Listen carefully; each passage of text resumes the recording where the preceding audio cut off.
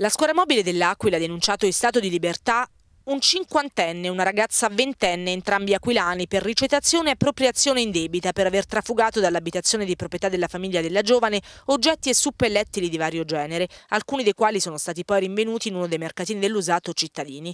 Tutto ha inizio dalla denuncia di una donna aquilana che, recatasi per un controllo periodico presso l'abitazione di famiglia, ubicata nel centro storico e disabitata dopo il terremoto dell'aprile del 2009, ha notato la mancanza di vari oggetti di pregio nelle aree comuni del fabbricato. Stesso riscontro è stato fatto da un altro familiare che, recatosi a sua volta dopo essere stato informato presso la propria unità abitativa, ha notato la mancanza di suppellettili vari anche all'interno del suo appartamento. Il sopralluogo effettuato dalla mobile ha evidenziato immediatamente la totale mancanza di segni di effrazione su porte e finestre dell'edificio e senza indugio sono iniziati i controlli presso i vari esercizi commerciali di vendita dell'usato della città, dove in un paio di questi sono stati rinvenuti la maggior parte degli oggetti, dei mobili e degli arredi asportati. Dalla visione delle documentazioni operazione di consegna in possesso dei rivenditori è emerso che tutto il materiale era stato consegnato in conto vendita ed in periodi diversi da un uomo aquilano, di seguito accertato essere un amico della figlia di uno dei proprietari dell'immobile, che da molto tempo non vive più in famiglia e non ha alcun tipo di rapporto con nessun componente di essa.